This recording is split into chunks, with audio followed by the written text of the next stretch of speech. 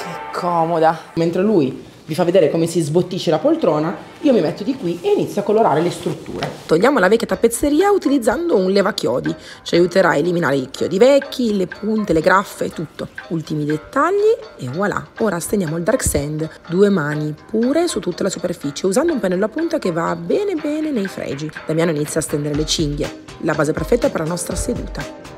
Antichizzo con la cera graffite, Ora con un po' di cera jasmine tolgo l'eccesso e con una spugna abrasiva delicatamente creo un leggerissimo decapè. Ora la magia di Damiano inizia con i diversi strati di gomma piuma, resinato e la bellissima stoffa in stile toile de jouy. Un filo di passamaneria a rendere il tutto perfetto. La cornice che mancava.